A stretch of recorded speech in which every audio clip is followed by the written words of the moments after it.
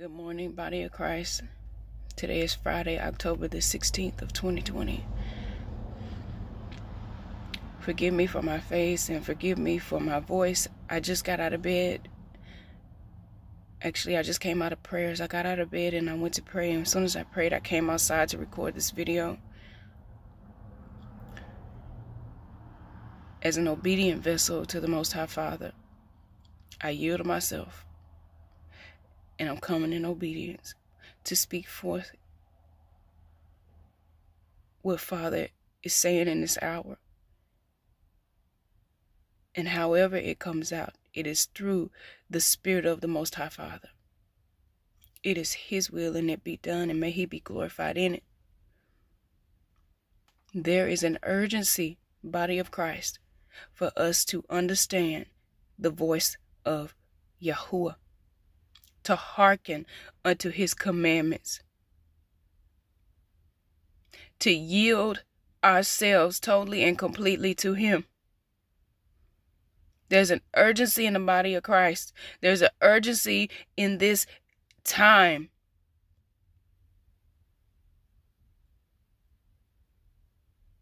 To be obedient to our Father in heaven when he sends a word through a vessel. It is the due diligence of the person listening to that word to first of all hearken with your spiritual eyes and ears and with discernment through his Holy Spirit. And you take that word to the throne and you ask him if he sent that word, and he will surely confirm but he is angered against the pride in our hearts. Because when a word is going forth and it is not in the manner that an ear wants to hear it, it's rejected. He's sending his vessels. He I sent my vessels. I've sent my children to speak to you. But you have not hearkened unto my voice. You have rejected with your pride.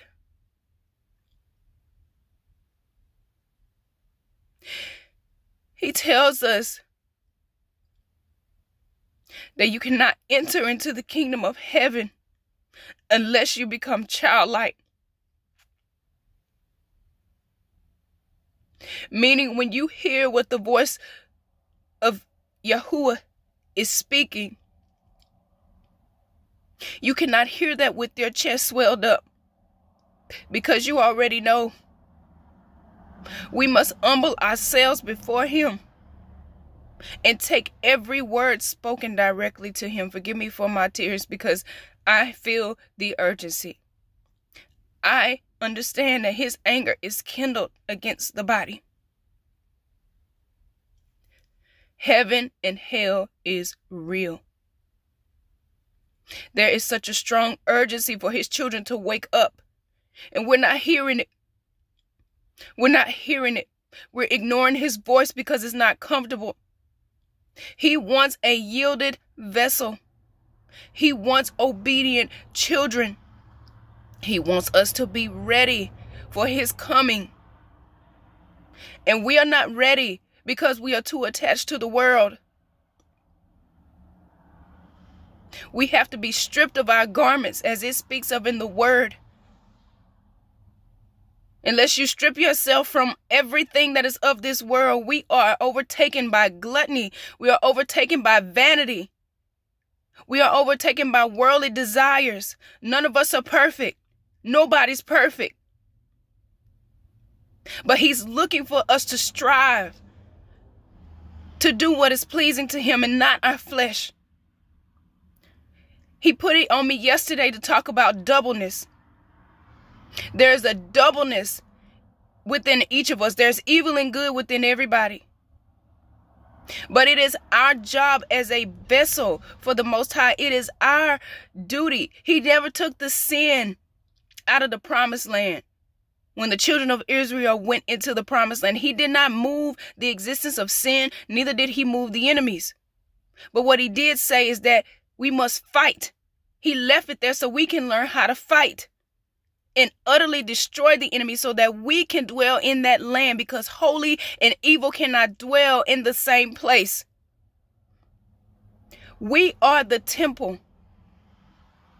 We must overcome the flesh with our spirit.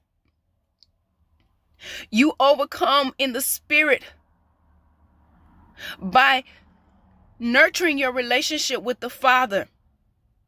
And I don't mean going to church. Please forgive me because I don't want to offend anybody because you go to church. That's not what I mean.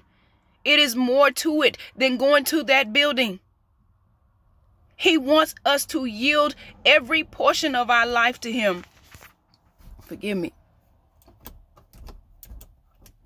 He wants us to yield every part of our life to Him. Whatever we have not given up for the sake of having a relationship with Him, He wants us to search our heart and make up our heart's mind. We are running out of time to get this thing together before things jump off here. He's given us time. And we have not hearkened to his voice because we have pride in our heart. Because it does, Father says we have to become childlike. That means we have to, when we come to Him, when we come to Him to confirm, when we come to Him, when we hear a word that may not sit well in our spirit because it's not comfortable, it's not what we want to hear. We can't come to Him with a heart swelled up, with our chest swelled up because we already know something. Humble yourself today. Listen to his voice. Make up your mind to serve the Lord with all your heart, all your mind, and all your soul. It is crucial. It is an urgency. There's an urgency in the spirit. Things are taking place, and many are missing right now because we are not yielded. We are so caught up in the world. He says, Follow me. Follow me. Follow me. It's the cost of being a disciple of Christ. Father will remove and He will add to whatever needs to be added to your life when it's beneficial to His will being carried out in your life. The door is open for freedom for those who are in bondage. The door is open.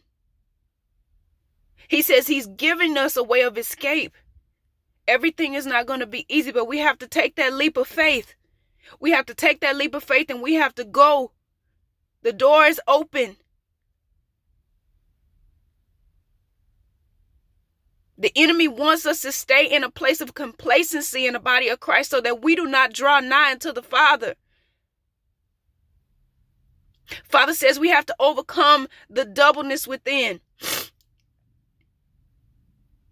We have to lay down the desires of the flesh and be rid of those things, the works of the flesh that it speaks of in Galatians 5. Adultery, lasciviousness, jealousy, envy, malice, pride.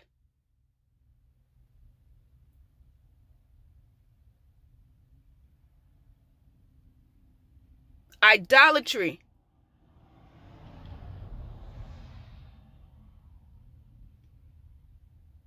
There's so many.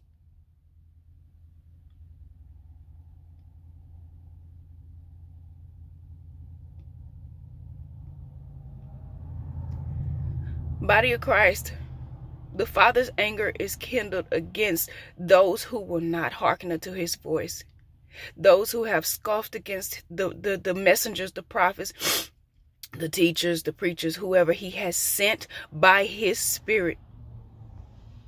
Not because of the popularity in this world, but by his spirit, those who he has sent and who have come in obedience to give the warnings, to give the word of the mouth of Yahuwah to speak what is on the Father's heart. He sent them. And his voice has not been heeded. Judgment is upon this nation. Judgment is upon this nation. For those who hearken, his covering, his protection, his blessings and everything that he has. And I'm not talking about worldly blessings, I'm talking about spiritual blessing in the spirit, the nourishment of the spirit, the wisdom, the knowledge, the discernment, the protection in the spirit. And as he chooses to bless materially, he will do so. It's according to his will. I'm just being obedient. We are running out of time before things happen. Father says, listen to his voice. Come to him directly. Know what he wants for your life. Yield yourself to him. He wants it all. He wants it all. He wants it all. That's in my spirit. He wants it all. He wants it all. He wants everything. Yield it to him today. He wants it all. He wants it all. Mm, he wants it all. We cannot serve man and God.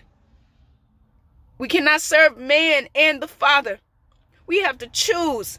We have to choose. We have to choose. We have to choose. He says we have a choice. It is your choice to make up your mind and make up your heart's mind to make Christ the center of your life because heaven and hell is real. The enemy is going to take whoever he can down with him. Father, have mercy. The enemy is trying to take as many as he can with him because he knows his final destination. Father has given us a way out. I pray that you would get on your knees and Cry out to Him, fast, pray. Reach out to Him. Go that extra mile. Take the extra step. Do the work that needs to be done. And when I mean work, that means sometimes we're going to have to dig a little deeper. This is more than surface deep. I pray that you understand the urgency. There is a cry. There is an urgency. The Father is his voice is being spread throughout this earth by his vessels, those he whoever he has sent to speak and say to, to warn. Judgment is upon us, brothers and sisters. And we want to be covered in the blood. We want to be covered by the hand of the Father and not given over to the enemy because of rebellion, because of pride, because of lust, because of of of in our hearts we have went after riches more than we have searched for the father. We're more concerned about the amount in our congregation rather than the souls that are being saved. Father is not happy. He's not happy. He is not happy. His anger is kindled. Oh my goodness. Hallelujah father. I praise his holy name because he is mighty, he is sovereign. And I come in the fear of Yahuwah. I come in the fear of the Lord. I'm just being obedient. I pray that you would go and you would take to your prayer closets more than you ever have. Cry out to him. He knows your heart. He knows the very depths of our heart. He knows when we're coming near him with our mouth, but our hearts are far from him because we rather have what's in this world than to have that deep relationship with him or to do what needs to be done or to let go of what needs to be let go of in order to be in his presence. He knows it already. He knows it already. I pray that you will yield yourself today. Yield yourself to the father in heaven. Heed his voice. He's speaking it's up to us to do our due diligence to go to Him directly to the throne and understand what He's asking of you and understand what it is that He wants you to do. No man can tell you that unless Father sends them, but directly in your relationship, you have to ask Him. I'm so, so sorry. Forgive me for my face. But I understand the urgency and I feel His anger.